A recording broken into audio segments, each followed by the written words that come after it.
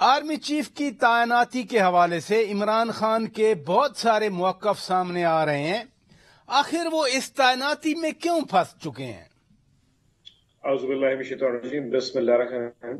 बहुत सारे मौकफ सामने नहीं आए जो चीज़ सामने आ रही है वो ये है कि जो एक बयानिया बिल्ड किया जा रहा है कि शायद हमारा जो ऑब्सेशन है वो कहीं तरीके इंसाफ का वो चीफ ऑफ़ आर्मी स्टाफ है। आपको याद हो जब साहब ने ये प्रेस कॉन्फ्रेंस की तो खान साहब ने एक बयान दिया।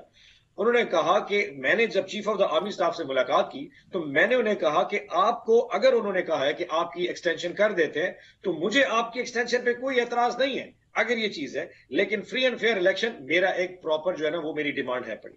यही बात आज शहबाशी ने कही है कि मुझे इमरान खान साहब ने पैगाम पहुँचाया जिसका अभी तक उन्होंने नाम नहीं लिया कि वो कौन किसने पैगाम हम्म। पहुँचाया कि उसने कहा कि जी बैठ के बात कर लेते हैं। अब जरा थोड़ा पॉइंट को समझने की कोशिश करें।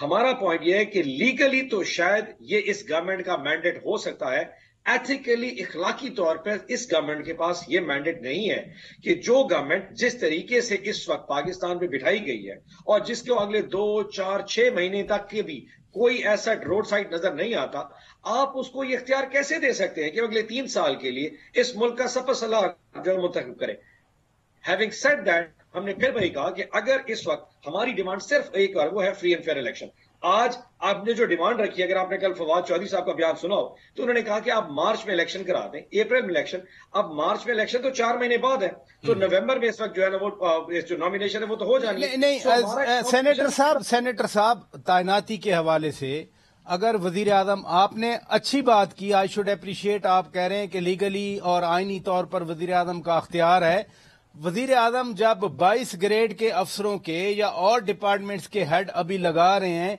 उधर कभी ऐसी बात नहीं आई कि आप 22 ग्रेड के अफसरों को क्यों लगा रहे हैं? ये क्या ऐसी खास बात है कि बार बार एक मौकफ नहीं आया? खान साहब कहते थे, मेरिट पे लगना चाहिए। खान साहब कहते थे कि तोसी ले लें जब तक नई हुकूमत नहीं आती। अब और इनकशाफात आ गए सामने।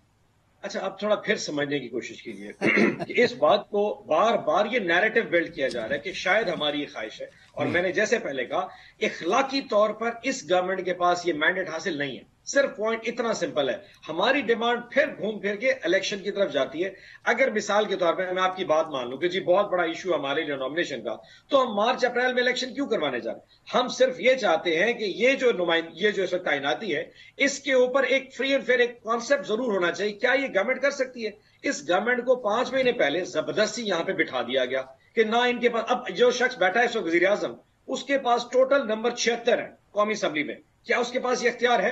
कि आप पाकिस्तान की अवाम ने जो एक नुमाइंदगी का वोट दिया है वो शहबाज शरीफ के पास है कि इस वक्त वो मुल्क का हुक्मरान होकर अगले तीन साल के लिए एक सफ़ा सलार बनाए? नहीं।